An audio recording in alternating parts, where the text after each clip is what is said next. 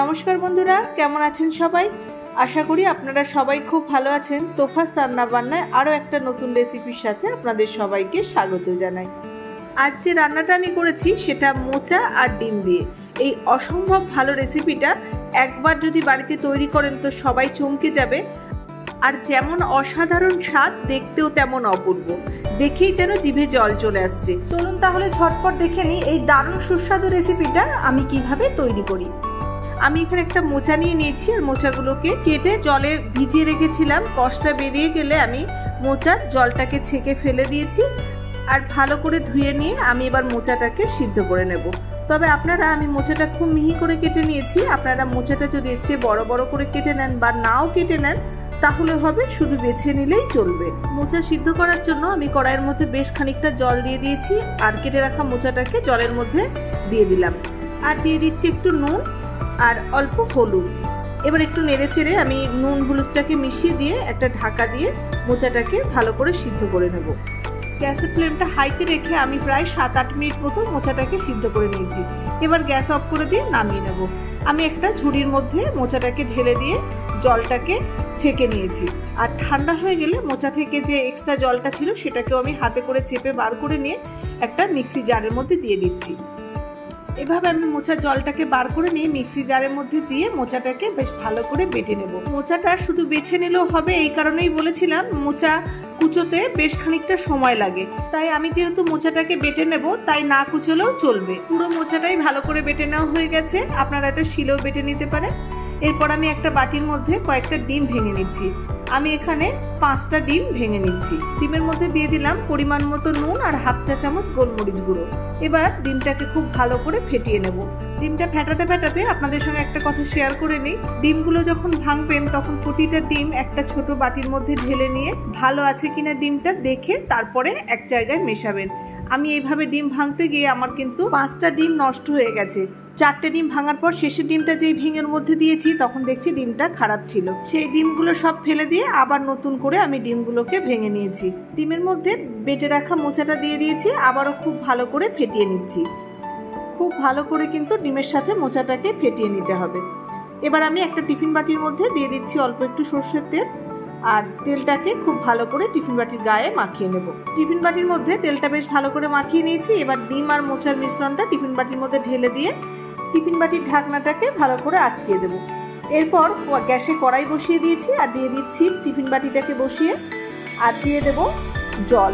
Tiffin বাটির অর্ধেকটা যাতে জলে ডুবে থাকে সেই রকম পরিমাণে আমি জলটা দিয়ে দেবো। খুব বেশি জল দিয়ে দিলে আমি যখন এটাকে ঢাকা দিয়ে স্টিমে বসিয়ে রাখব, তখন কিন্তু এই টিফিন বাটির মধ্যে জল ঢুকে যেতে পারে। এই ফাঁকে আমি আদা রসুনটাকে বেটে নিচ্ছি। কুড়ি পঁচিশ মিনিট মতো জলে ফুটিয়ে নেওয়ার পর ঠান্ডা হতে দিয়েছিলাম। এখন বেশ ভালো মতো ঠান্ডা হয়ে গেছে। এবার আমি টিফিন বাটিটাকে খুলে দেখিয়ে দিচ্ছি। দেখুন একবার, খুব সুন্দরভাবে কিন্তু মোচাটা জমে গেছে। হাত দিয়ে দেখিয়ে দিচ্ছি, দেখুন আমি বেশ চাপছি, তবুও কিন্তু হাতে লেগে যাচ্ছে না। এটাকে আমি জল থেকে তুলে নিয়ে একটা ছুরি দিয়ে চার পাঁচটা একটু ছাড়িয়ে নিলাম আর এটাকে একটা প্লেট চাপা দিয়ে আমি উল্টিয়ে নিয়ে বার করে নেব। দেখুন কত সহজে মোচাটা টিফিন বাটি থেকে বেরিয়ে গেল। এটাকে আমি এবার পিস করে কেটে নেব। আমি এটাকে চৌকো চৌকো করে কেটে নিয়েছি। সাইজটা একটু মিডিয়াম রেখে কেটেছি। আপনারা আপনাদের পছন্দ অনুযায়ী পিস করে কেটে নেবেন। মোচার টুকরোগুলোকে আমি ভেজে নেব। তার জন্য আমি কড়াইটা গ্যাসে বসিয়ে দিয়ে দিয়ে দিচ্ছি বেশ খানিকটা সর্ষের তেল। তেলটা একটু বেশি দিয়ে দিলাম। মোচার টুকরোগুলোকে ছাঁকা তেলে ভেজে নিতে হবে সেই জন্য। তেলটা বেশ ভালো মতো গরম করে নিয়ে মোচার টুকরোগুলোকে দিয়ে দিচ্ছি। গ্যাসের ফ্লেমটাকে মিডিয়ামে রেখে দিয়ে এক পিঠ ভাজা হয়ে গেলে আমি একটু নেড়ে চেড়ে উল্টে পাল্টে চারিদিক সমান করে ভেজে নেব। মোচার টুকরোগুলো ভাজার সময় খুব সাবধানে ভাজতে হবে, তা কিন্তু নয়। দেখুন, আমি এত নাড়াচাড়া করছি তবু কিন্তু একটা মোচার টুকরো ভেঙে যাচ্ছে না। যেহেতু আমি এই মোচাটার মধ্যে ডিম দিয়ে রেখেছিলাম, তাই দেখুন তেলের মধ্যে কীরকম ফেনা হয়ে গেছে। আর মোচাগুলো বেশ ভালো মতো ভেজে নিয়েছি, এবার আমি এটাকে তুলে নিচ্ছি। একই রকম ভাবে আমি সব মোচার টুকরোগুলোকেই ভেজে নেব। সবগুলোই ভেজে নেওয়া হয়ে গেছে। আমি অন্য আর একটা কড়াই বসিয়ে নিয়েছি আর দিয়ে দিচ্ছি অল্প সর্ষের তেল। তেলটা ভালো মতো গরম হয়ে গেলে সামান্য হিং আর একটা তেজপাতা দিয়ে দিলাম। আর এই তেলের মধ্যে এখন দিয়ে দিচ্ছি একটা বড় সাইজের কুচনো পেঁয়াজ। একটু নেড়ে চেড়ে পেঁয়াজটাকে ভেজে নেব। পেঁয়াজটা এখন একটু বেশ লালচে লালচে হয়ে এসেছে। এর মধ্যে আমি এবার একে একে মশলাগুলো দিয়ে দেবো। প্রথমে দিয়ে দিলাম বেটে নেওয়া আদা রসুন। দু তিন মিনিট মতো একটু নেড়ে চেড়ে নেব, যাতে আদা রসুনের কাঁচা গন্ধটা চলে যায়। আদা রসুনটা ভেজে নেওয়া হয়ে গেছে, এবার একে একে গুঁড়ো মশলাগুলো দিয়ে দিচ্ছি।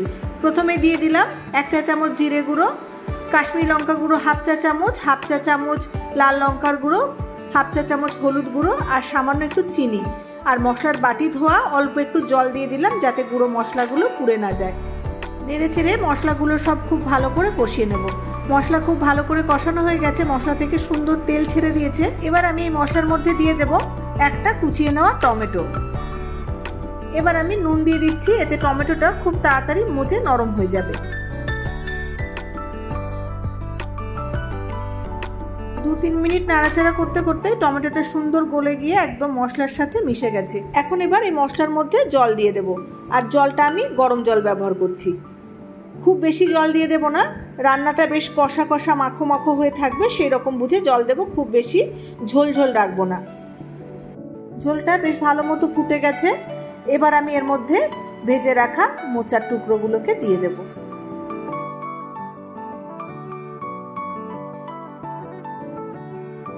নেড়ে চেড়ে ঝোলের সাথে ভাজা মোচার টুকরোগুলোকে বেশ ভালো করে মিশিয়ে দিচ্ছি।